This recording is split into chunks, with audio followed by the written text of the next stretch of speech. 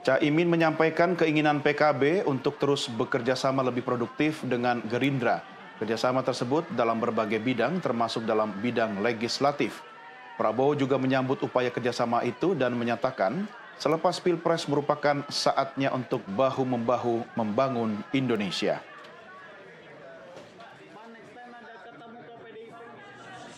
PKB dan Gerindra sebagai partai yang selama ini bekerja sama di parlemen maupun di eksekutif ingin terus bekerja sama lebih produktif lagi.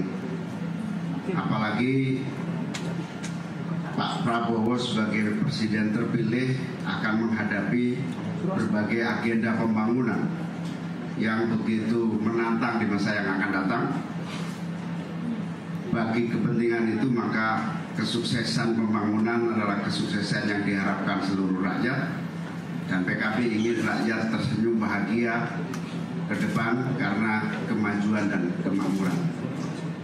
Yang ketiga, kita berharap PKB dan Gerindra terus menjalin kerjasama dalam berbagai bidang legislatif maupun di berbagai ikhtiar mewujudkan suksesnya menuju masyarakat adil dan makmur.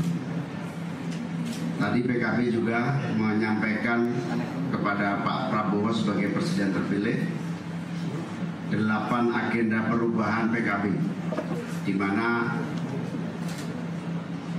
delapan agenda PKB diserahkan kepada 08 kira-kira